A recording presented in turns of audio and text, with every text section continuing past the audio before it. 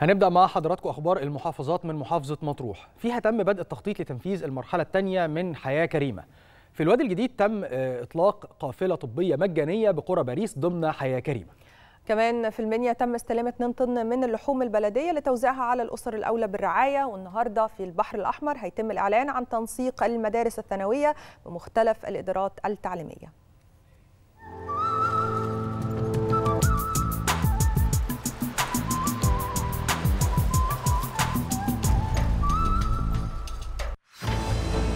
محافظات مصر شهدت امبارح أخبار كتيرة. في مطروح تم بدء التخطيط لتنفيذ المرحلة الثانية من المبادرة الرئاسية حياة كريمة في 29 قرية وعدد من التجمعات بمطروح. وتم الانتهاء من معاينة 15 وحدة محلية قائمة و16 مركز شباب و26 نقطة إسعاف بالمرحلة الثانية وجاري استكمال المعاينات بمركز سيوة وباقي القطاعات الأسبوع المقبل.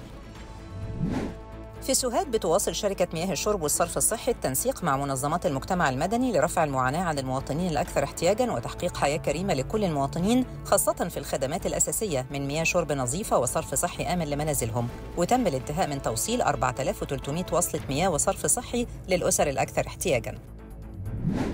في الوادي الجديد انطلقت أعمال القافلة الطبية المجانية بمركز باريس ضمن المبادرة الرئاسية حياة كريمة لتقديم الخدمات الطبية المجانية للمواطنين في المناطق النائية والبعيدة والمحرومة اللي بتستحق الرعاية الطبية اللازمة حيث تستمر على مدار يومين لتوقيع الكشف الطبي على المواطنين وتشخيص الحالات المرضية المختلفة.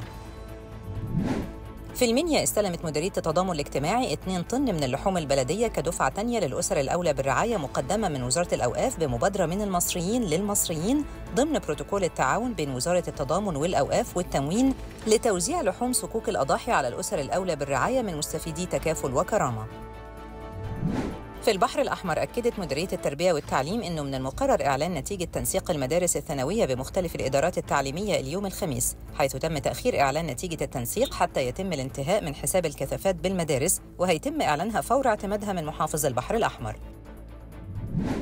في الغربية أطلقت جامعة طنطا 12 قافلة تنموية شاملة خلال الست أسابيع الأخيرة لقرى ومراكز المرحلة الثانية من المبادرة الرئاسية حياة كريمة. وشهدت القوافل توقيع الكشف الطبي على 11244 حالة من خلال 15 عيادة وصرف الدواء اللازم لجميع الحالات بالمجان وتحويل 750 حالة لمستشفيات طنطا الجامعية لاستكمال العلاج.